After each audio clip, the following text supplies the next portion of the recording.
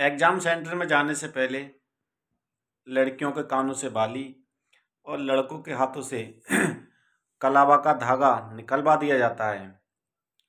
और उसी सेंटर से बाहर आने से पहले 150 प्रश्नों का पेपर लीक हो जाता है। ये हमारे देश की कानून व्यवस्था, अर्थव्यवस्था आज किसान दिल्ली में परेशान है।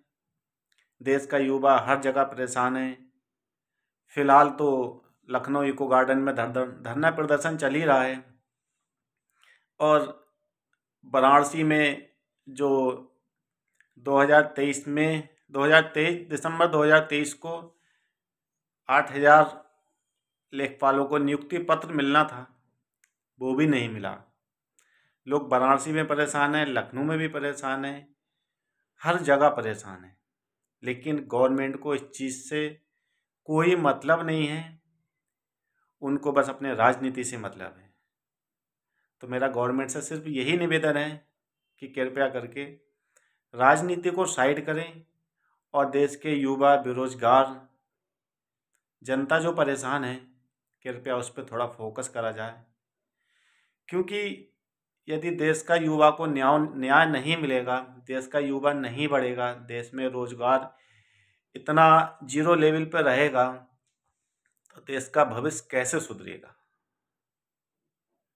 थोड़ा सा विचार करें थोड़ा सा टाइम निकाल के युवाओं के कैरियर पे भी फोकस करा जाए, क्यों उनके भविष्य के साथ खिलवाड़ करा जाता है? कितने पेपर लीक हो रहे हैं? कितने बच्चों का सपना टूट रहा है? कितने बच्चे बेचारे मेहनत से पढ़ाई कर रहे हैं। घर की आर्थिक कंडीशन इतनी ख़राब होती है कुछ लोगों की, लेकिन फिर भी पढ़ाई करते हैं। क्यों? क्योंकि सफल हो जाए।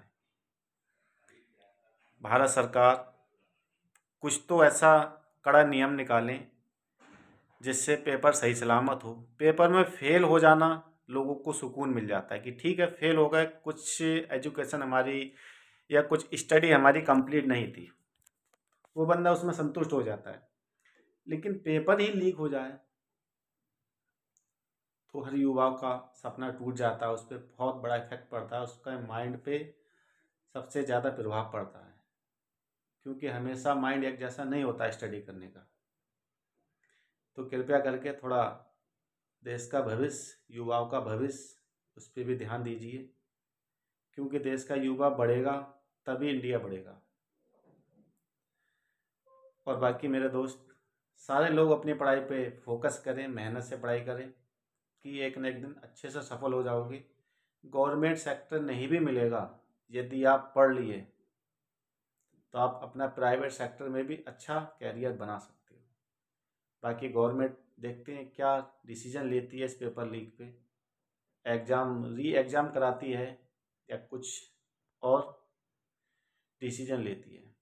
बाकी देखते हैं क्या होता है। आई थिंक भर्ती रद्द होने वाली है, क्योंकि इलेक्शन सर पे गवर्नमेंट को तो बस इलेक्शन की पड़ी है, युवाओं के कैरियर की बिल्कुल भी नहीं पड़ी है। बाकी दोस्तों, आप मेहनत से पढ़ाई करो। गवर्नमेंट क्या उपहार देती है हम लोगों के लिए, क्या निर्णय लेके आती है, क्या डिसीज़न लेती है। बाकी फोकस करो अपनी पढ़ाई पे। जय हिंद, जय भारत।